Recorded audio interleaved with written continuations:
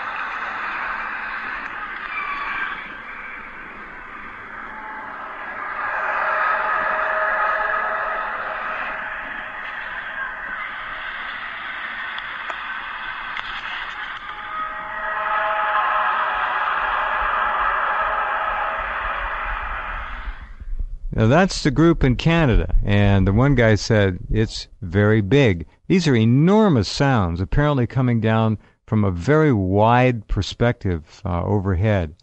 Uh, pretty weird, Charlie. It, that's most unusual.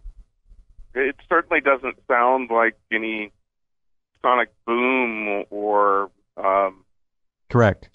you know some sort of aircraft manifestation. Right. That, that has um, a much more, uh, I guess, in a way, to me, it, it kind of sounds like that is being artificially produced, Right.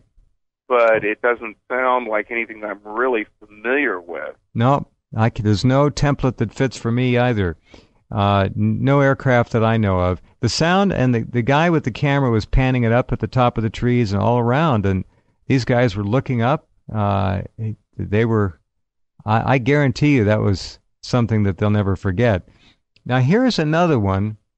This is from Eastern Europe. I'm not quite sure which one this is. I think. Let me see if I can identify the location for you just for the record.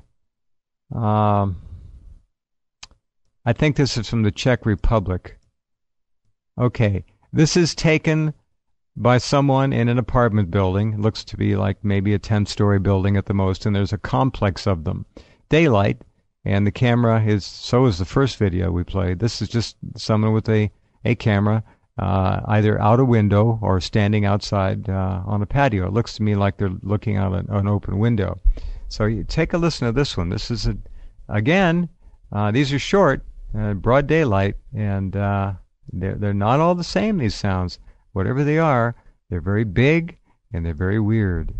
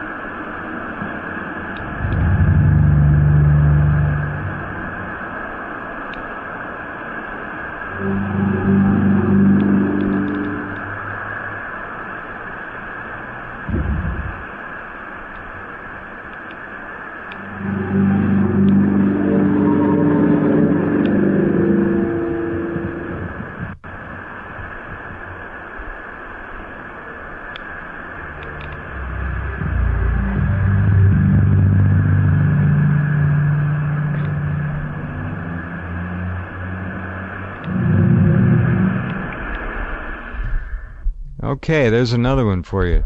Different uh, than the first one, quite a bit. Not the same. They're all different. They're all big. The harmonics on that one were obviously uh, very deep compared to the other one, which sounded almost choral. Uh, there are people really overlaying these experiences in writing or after they've seen the videos with religious interpretations, end times interpretations, extraterrestrial, uh, ET kinds of uh, interpretations. Who knows? We do. We just don't know. I'll play another one or two, but uh, they're all up there to be listened to, and this is this is really going crazy, as they say on the net. These are weird. They're not run of the mill. They're not just electrical noises from uh, a generator. They're not the wind uh, rushing through the high voltage lines. Nothing like that. These are these are occurring often in cities, uh, as observed from high-rise buildings, and I don't know what to tell you. A little weird, a little weird.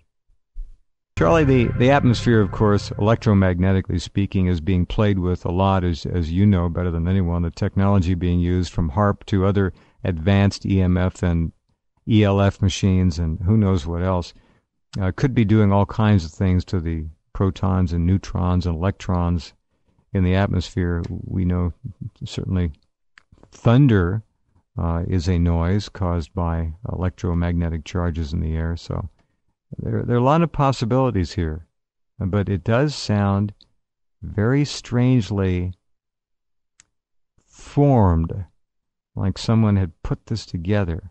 But this goes back to the old project blue beam thing, which you know about, and we've talked about this whole idea of the globalists. Uh, Wernher von Braun told Carol Rosin that the bat the what were they going to do first? I guess it was going to. He explained that there was going to be a war on terror and all that, uh, and then he said that. But the last big gambit, the trump card, is going to be a fake ET invasion of the planet Earth to stampede the people into a one world Illuminati government. Could this be the beginning of something like that in 2012? I don't know. A lot of people are thinking this is a sign. The Mayans were right. This is the end. Uh, let me play one more 30 second piece and then we'll get to Charlie and I want to hear what he has to say about this so far. This is fascinating material. This is uh, from Budapest, Hungary.